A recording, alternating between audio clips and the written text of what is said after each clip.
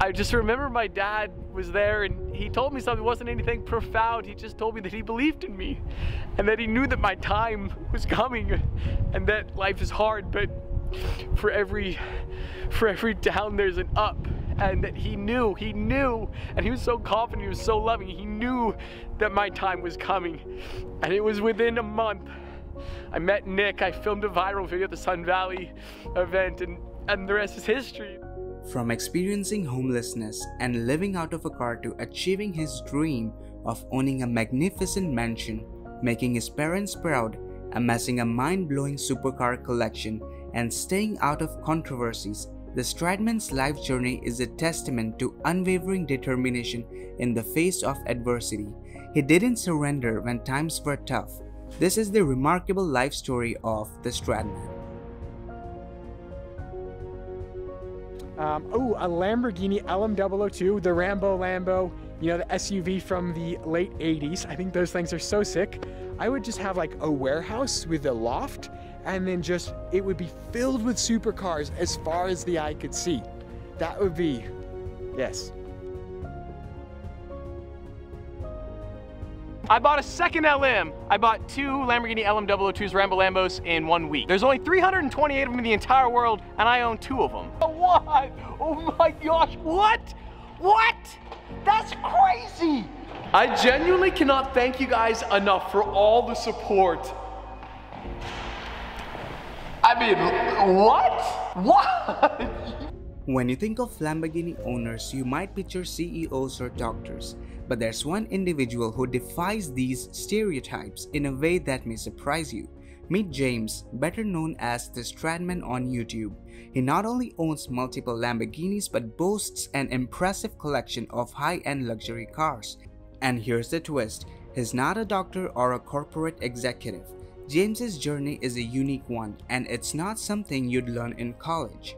Like his jaw-dropping supercar collection, the Stradman's YouTube presence continues to skyrocket. He's a creator who's living the dream.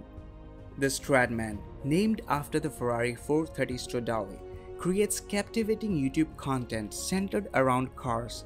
It's an extraordinary profession that some might deem a joke, but it affords James the luxury of owning cars that turns heads on the street. However, the road to success wasn't always smooth for the celebrity YouTuber. In fact, he once faced more significant challenges than most. But through his inspirational journey, he found success through his passion for cars. The Stradman's journey began with humble origins. After leaving college, James pursued a job that wasn't his dream but a starting point. It didn't take long for him to realize that he was being paid less than less skilled individuals. He thought of threatening to quit the job, hoping for a raise that never came. Instead, he was let go from that job.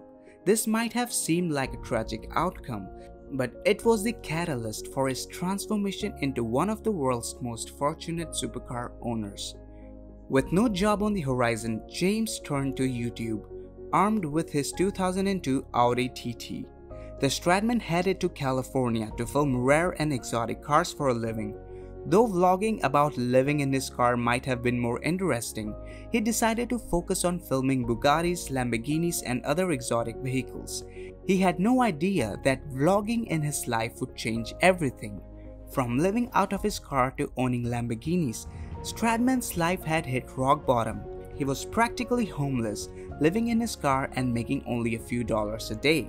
His diet consisted of bread and off-brand soda. And he relied on free McDonald's Wi-Fi to upload his videos.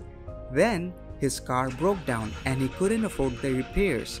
Most people would have given up, but not James. He ordered the part and fixed the car himself, determined to keep going. After all these struggles, James decided to take on a steady hotel job, doing graveyard shifts. With the extra income and vacation days, he attended some of the world's most prestigious automotive events, such as the Gumball 3000 Rally. Throughout it all, he never gave up on YouTube and his dreams.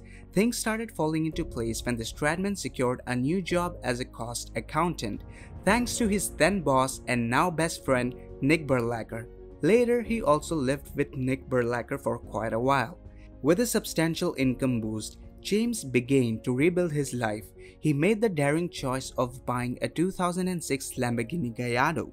Despite having an average job, he invested in a car fit for a CEO, all in the name of his YouTube channel, which was still making very little money. Contrary to everyone's advice, he bought it and resumed camping, this time recording the experience, and to his surprise, it paid off. YouTube started bringing in substantial income. But then he got laid off. James the Stradman couldn't afford his Lamborghini, but he persevered, and this determination turned him into one of the most significant automotive influencers globally. He continued to chase the rarest and most remarkable cars.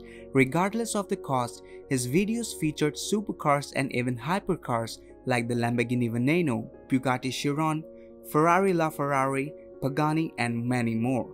James's story is a testament to what you can achieve when you relentlessly pursue your dream.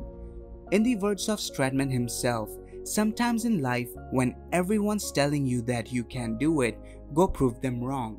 That's exactly what he did. James worked tirelessly earning everything from global trotting to capturing exclusive footage. Now, with 4.26 million YouTube subscribers, he possesses a unique collection of supercars, a feat that many never achieve. And the story doesn't end there.